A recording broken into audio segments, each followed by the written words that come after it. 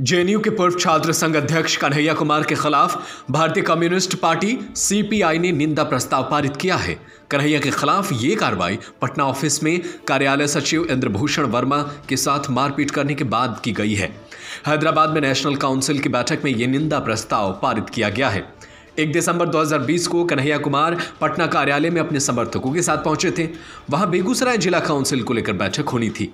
मगर किसी कारण से यह बैठक स्थगित कर दी गई थी। लेकिन उसके स्थगित होने की खबर कन्हैया कुमार को नहीं दी गई। इतने से बात पर कन्हैया के समर्थकों ने प्रदेश कार्यालय सचिव इंद्रभूषण वर्मा के साथ बदसलूकी धक्का मुक्की और मारपीट की। इस मामले पर कन्हैया कुमार और उनके साथियों के खिलाफ राष्ट्रीय नेतृत्व से कार्रवाई की मांग की गई थी। तब इस घटना पर पार्टी के बड़े नेताओं ने कुछ नहीं कहा था। हालाँकि कन्हैया कुमार ने बाद में सफ़ाई दी थी।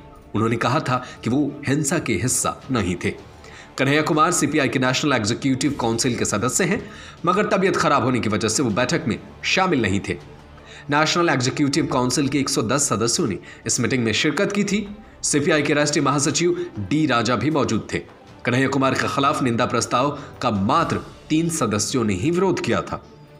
तेलंगाना सीपीआई के राज्य सचिव सी वेंकट रेड्डी ने कहा है कि निंदा प्रस्ताव में कहा गया है कि इस नौजवान नेता को इस तरह की चीज़ों से बचना चाहिए।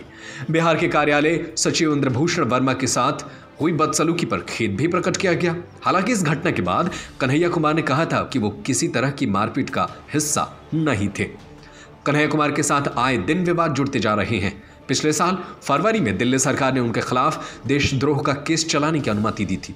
उससे पहले 2019 में लोकसभा चुनाव में स्थानीय लोगों ने भी आरोप लगाया था कि कन्हैया कुमार के समर्थकों ने उनके साथ मारपीट की थी ब्यूरो रिपोर्ट, खबरें अभी तक Subscribe to our YouTube channel and press the bell icon to get the latest updates.